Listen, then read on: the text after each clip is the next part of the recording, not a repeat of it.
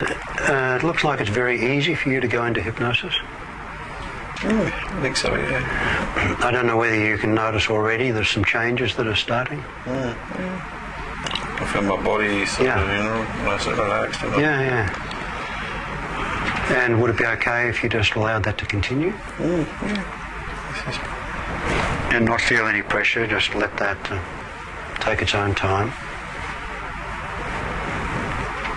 And there may be some part of that experience, I don't know whether it's uh, the relaxation that you can begin to focus on and allow yourself to become absorbed in. Or whether there might be some part of that music that you've been rehearsing that you could start to listen to or begin to have the feeling of playing and just allowing yourself to get into that.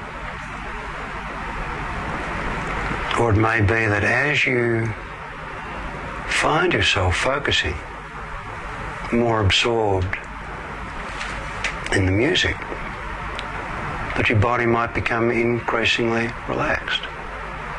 It can happen any way that you can allow yourself. And there's a very obvious change in the relative stillness in your body. There's some little movement of your thumbs. And just fine to let them move until they're ready to be comfortably still. Or maybe they want to keep moving. I really don't know, and it really doesn't matter. And you're breathing.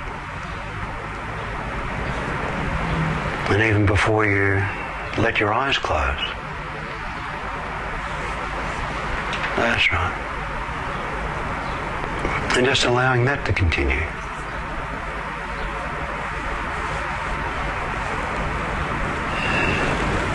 And I wonder if it would be pleasurable for you, whether it would be enjoyable for you to be playing that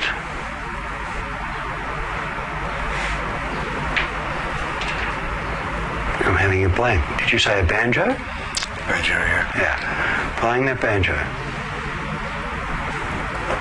And maybe walking around and